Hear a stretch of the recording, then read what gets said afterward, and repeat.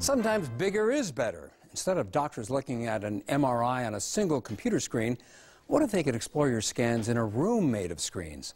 In tonight's edition of Scientific Chicago, Ash-har Quraishi shows us a project at the University of Illinois at Chicago that can transport users through time and space.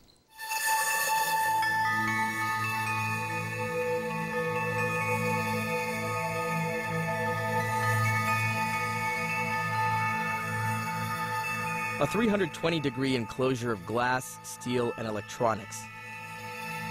This is the planet Mars. With tens of millions of pixels. This is the next generation of large-scale virtual reality environments.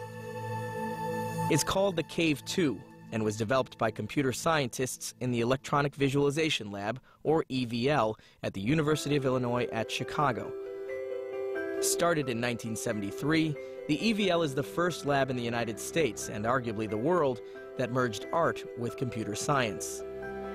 So it's big enough that you can have really nice casual collaboration.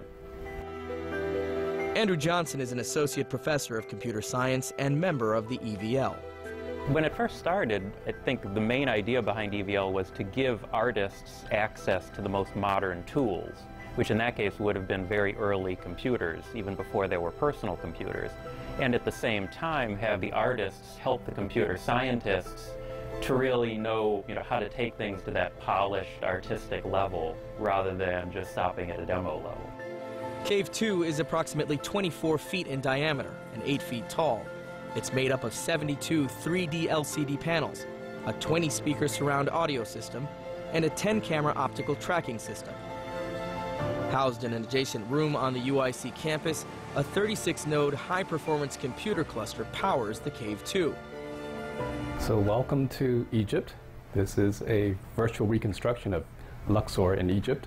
Uh, these images are created by using a panoramic set of cameras, uh, stereoscopic cameras, swing them around, capturing all this imagery, and then reconstructing it in 3D inside the cave. It really Jason Leigh is a professor of computer science and the director of the EVL.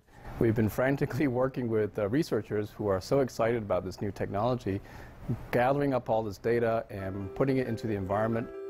At its core, the Cave 2 mission is to foster collaboration between computer scientists and professionals in an array of other fields.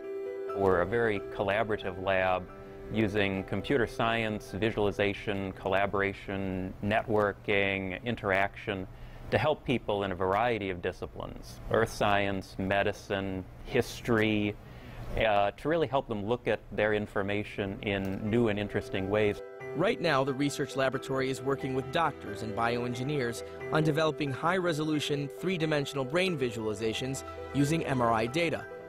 Dr. Ali Alaraj is an assistant professor of neurosurgery at UIC and is working with the EVL on their pioneering brain imaging project. This is pretty much looking inside the blood vessels. You are walking around the blood vessels. You're looking at those arteries from every single perspective, from every different angle. So the information that you will gather will help you to have a better surgical uh, uh, planning. Uh, the advantage in the future would be in surgical rehearsal planning, and in medical education as well. The group is also taking data from other imaging technologies to gain deeper, richer brain visualization. These colored streamlines represent white matter fibers that could provide key insights into patterns of depression in patients. It's important because you can think of it as sort of the wiring diagram of the brain. And so the idea is that we can understand the connectivity between different brain regions if we can look at these white matter fibers and look for impairments in the integrity of these white matter fibers. The perception is enhanced drastically when you step inside the data as opposed to looking at projections on a computer screen.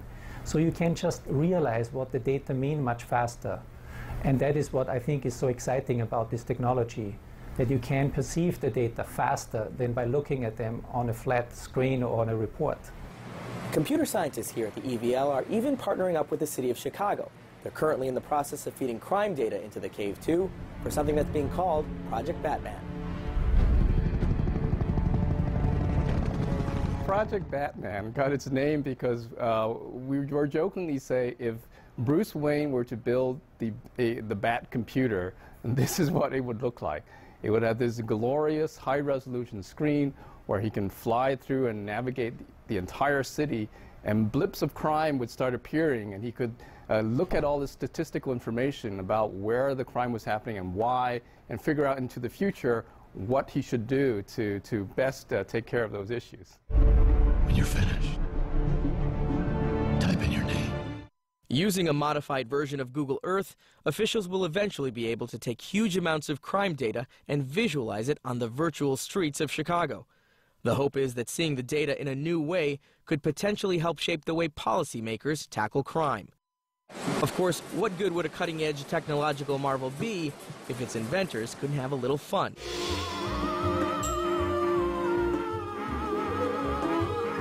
Programmers have boldly gone where no one has gone before by creating a full-scale 3D virtual replica of Star Trek's USS Enterprise. Step inside the cave, and you can actually walk around the ship's deck.